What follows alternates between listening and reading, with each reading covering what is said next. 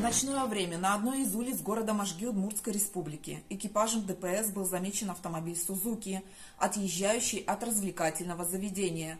Для проверки водителя на трезвость автоинспекторы приняли решение его остановить. Однако водитель проигнорировал законное требование сотрудников и, ускорившись, попытался скрыться.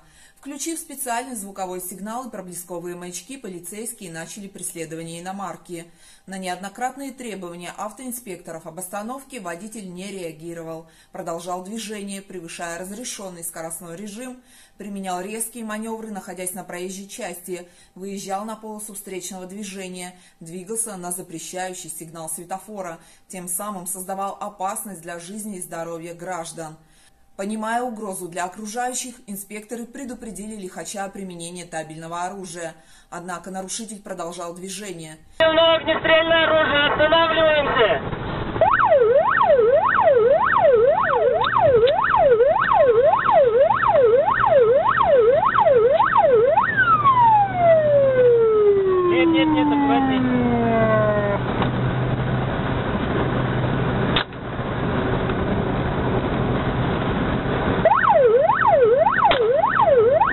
Нескольких предупредительных выстрелов сотрудник госавтоинспекции произвел выстрелы по колесам автомобиля, что помогло остановить транспорт.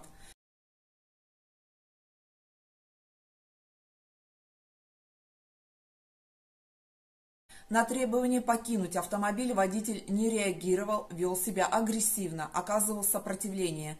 Полицейские были вынуждены применить специальные средства. Водителем иномарки являлся 29-летний молодой человек, житель города Можги, у которого имелись характерные признаки алкогольного опьянения. От прохождения медицинского освидетельствования на состояние опьянения он отказался. В отношении нарушителя составлены административные материалы. Водитель задержан, автомобиль помещен на специализированную стоянку. В результате применения табельного оружия никто не пострадал.